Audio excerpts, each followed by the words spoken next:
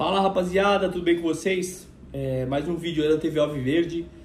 É, trazendo aí agora um assunto mais sério, rapaziada, um assunto mais delicado. É, ontem aí na Globo, Juliano, jogador do Santos, após a partida, um depoimento aí falando sobre o Rio Grande do Sul e a questão da paralisação do campeonato. Eu achei que ele foi muito bem, né? Foi muito assertivo no que ele falou. Não tem condições não tem condições de seguir o campeonato é, da forma que tá, né? Tudo isso está acontecendo lá no Rio Grande do Sul. Eu acho que não tem condições de seguir tanto pelo a logística dos times do Sul, né? Do Grêmio, do Inter, do Juventude.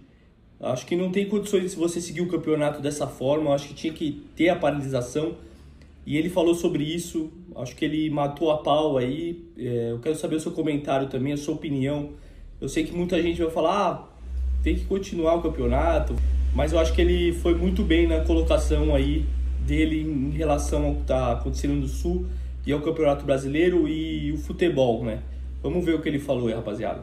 Caio plenamente com o que você disse, né? E eu até indago as pessoas a pensarem, é, qual o preço de uma vida? Será que um gol paga o preço de uma vida? Será que o estádio cheio e as outras pessoas sofrendo lá? Então, acho que é um momento de reflexão para nós. O futebol, ele, ele, o povo brasileiro ama futebol, mas até que ponto vale você parar o futebol e deixar as pessoas sofrerem? Então, eu acho que é um momento de reflexão para o futebol brasileiro de que nós temos que ser solidários. O futebol está em segundo plano.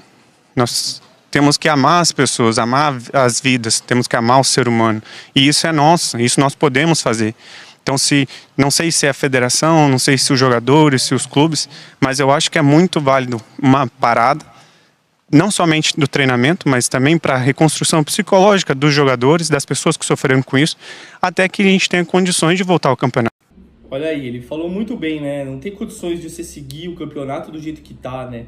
Os times não, com certeza lá do sul não tem cabeça, né? Outro dia é, tiraram o Renato, tá ilhado também no hotel, então tá todo mundo prejudicado, tanto os jogadores lá do, dos times do Sul quanto os familiares, né?